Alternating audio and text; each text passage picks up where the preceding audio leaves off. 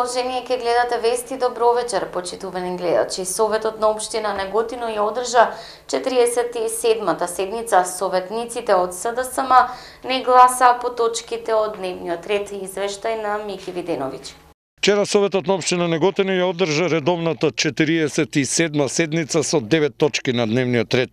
Веќе на самиот почеток, советниците од Советничката група на Социјалдемократска сојуз на Македонија реагира процедурално, барајки информација колку е легитимно продолжувањето на нивниот мандат бидејќи како што кажа, само собранието има право да го продолжи мандатот на советниците и градоначалниците, а не и Министерството за правда кое го даде актуелното толкување.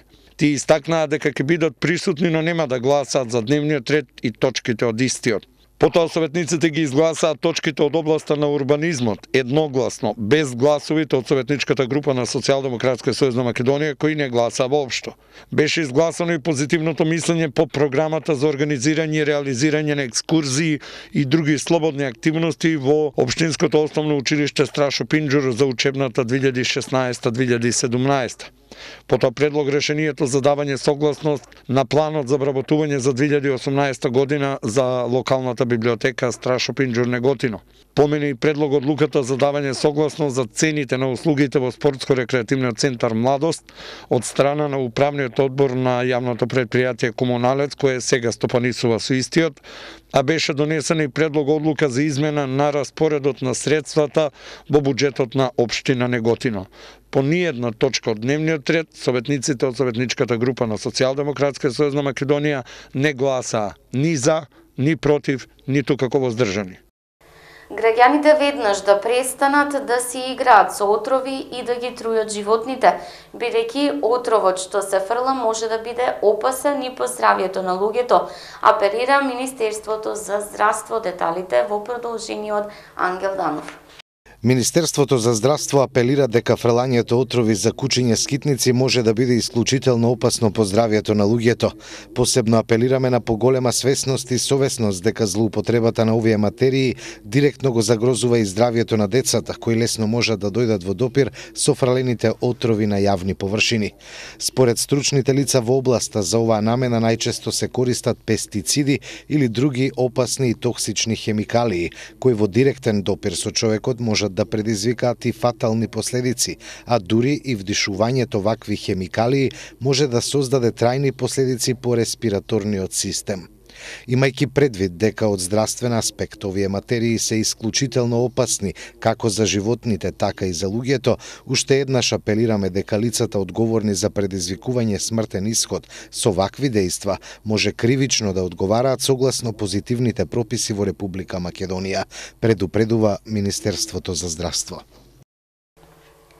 Во Обштинската организација на Црвен крст Кавадарци утре ќе биде реализирана акција за бесплатно мерење на слухот во периодот од 9 до 13 часот на акцијата може да се јават сите заинтересирани граѓани. Аудио БММК како фирма со долгогодишно искуство во слушната Амплификација во соработка со Црвениот крст на град Кавадарци организира бесплатна проверка на слух. Акцијата ќе биде реализирана утре на 12 април во просториите на Обштинската организација на Црвен крст во Кавадарци во периодот од 9 до 13 часот. Роза Илова, секретар на Кавадаречкиот Црвен крст, упатува апел до сите заинтересирани граѓани да дојдат и да бидат дел од акцијата за бесплатна проверка на слухот.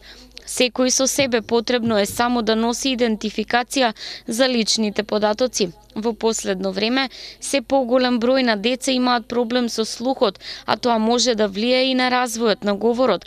За жал, овие проблеми често не се диагностицираат на време, па се откриваат дури во втората година. Но за среќа постојат различни техники и начини со помош на кои можат да се забележат проблеми проблемите со слухот. Најчести причини за губење на слухот кај децата се генетиката, статистиката во спаление на увото, но и стекнатото губење на слухот. Многу фактори може да допринесат за губење на слухот кај децата, а некои од нив се менингитис, рубеола и грип. Покрај тоа повредата на главата, гласните звуци и некои лекови исто така може тоа да го предизвикаат. Статистиката за Македонија вели дека едно од 3000 новородени деца се глуви, а оштетувањето на слухот е 70 до 80% присутно уште при раѓање. Во Македонија 6000 лица од вкупното население имаат трајно оштетување на слухот, токму затоа е организирана и ова акција за бесплатно мерење на слухот, велат од Црвен крст на времената превенција и честите контроли често знаат да дадат и позитивни резултати, децидни се од таму.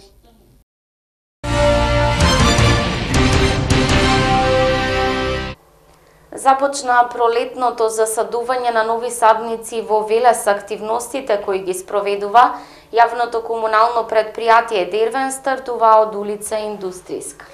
Започна пролетното засадување на нови дрвца во Велес. Активностите кои ги спроведува јавното комунално предпријатие Дервен стартува од улица Илинденска. Таму се засадени 38 зимзелени дрвца од видот смарагна туја. Истовремено се инсталираше и систем за наводнување. Засадувањето на дрвца е согласно годишната програма за работа на Обштина Велес во 2017 година, во делот кој се однесува на подигнување нови зелени површини. Со истата е предвидено на повеќе локации во градот да се засадат околу 380 дрвца.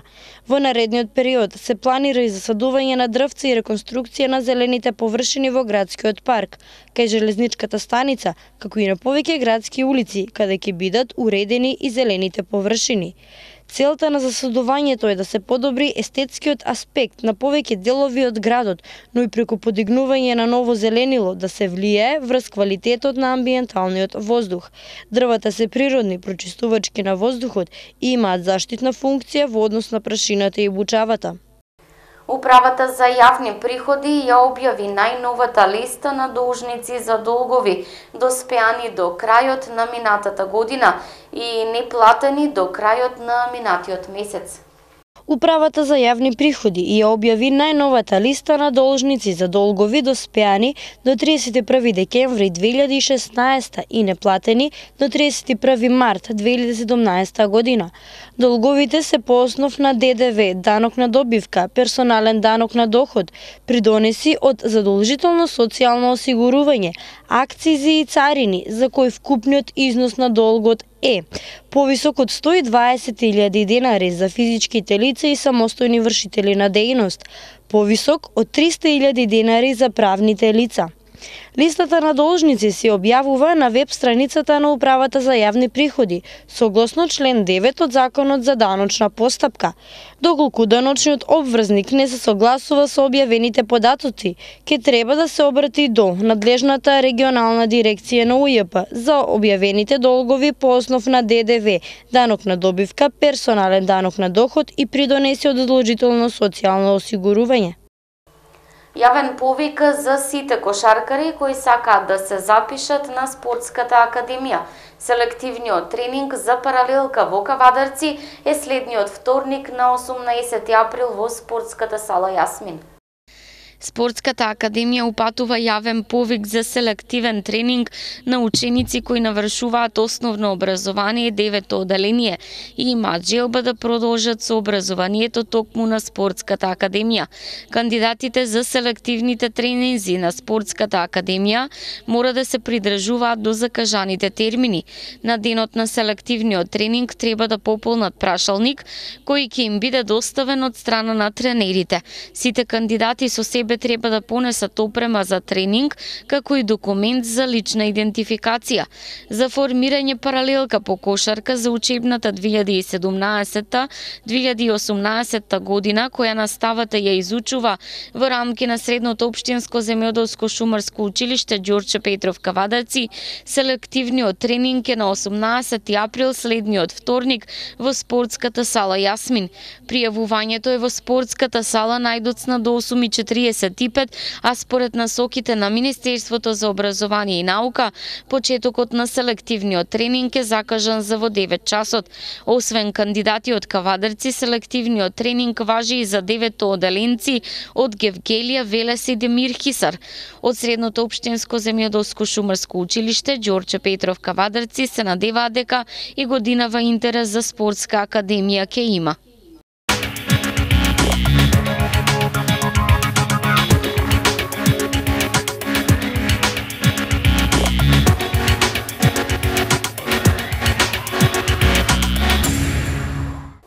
Ракометарите на Тиквеш славеа минимална победа на гостувањето во Куманово. Викендов се одиграа средбите од редовното 15-то коло во првата машка ракометна лига и беа постигнати следниве резултати.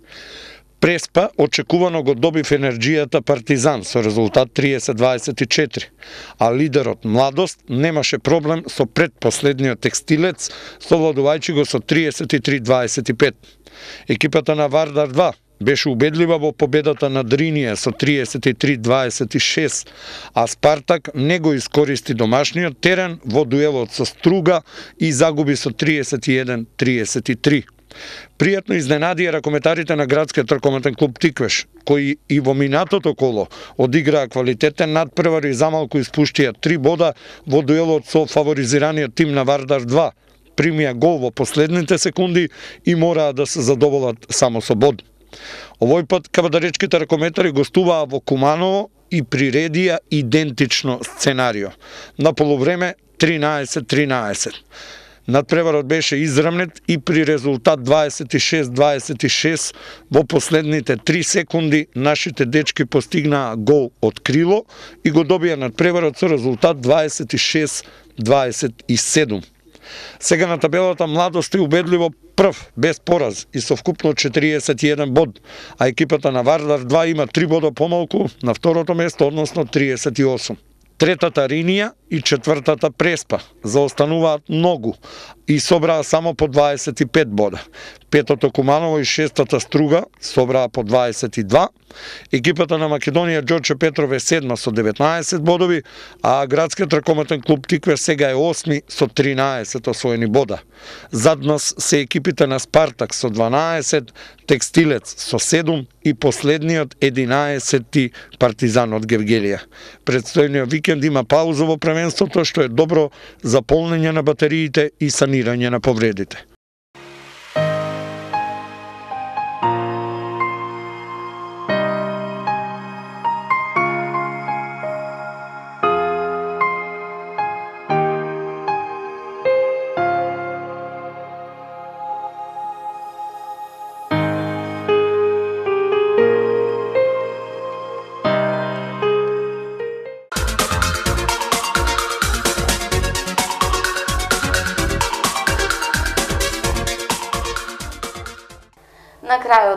Крајот вестите и временска прогноза. Времето утре умерено облачно, попладне се услови за слаб локален дошт од јужните делови. Ке дува умерен северен ветер и температурата ќе биде до 22 степен. Гледавте вести, имајте пријатна вечер со програмата на КТВ.